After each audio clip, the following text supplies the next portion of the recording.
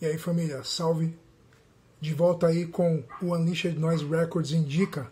Eu venho trazer para vocês aí mais uma dica legal, mais uma dica importante aí.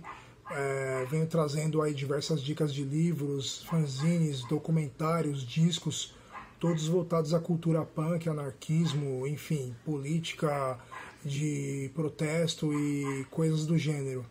E dessa vez eu venho trazer para vocês aqui, ó, essa joia aqui, ó o Italian Hardcore Punk, 1980-1989.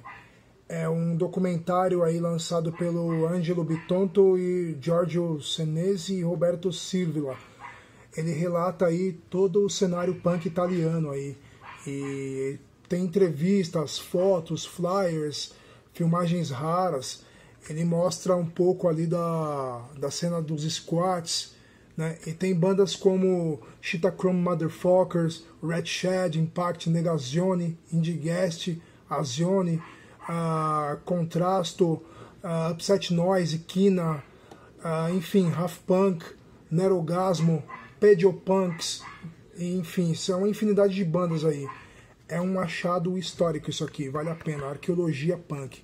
Para quem gosta da cena punk italiana dos anos 80 e quer entender um pouco mais como funcionou.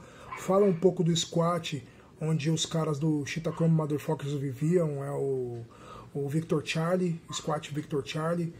Enfim, tem diversas bandas, muito conteúdo, alguns shows, e outras bandas aí tem o How Power, Crash Box, uh, enfim, muita banda legal, muito conteúdo punk aí para quem quer adquirir vale a pena. Procura pelo selo Fold Records, é, não é tão caro.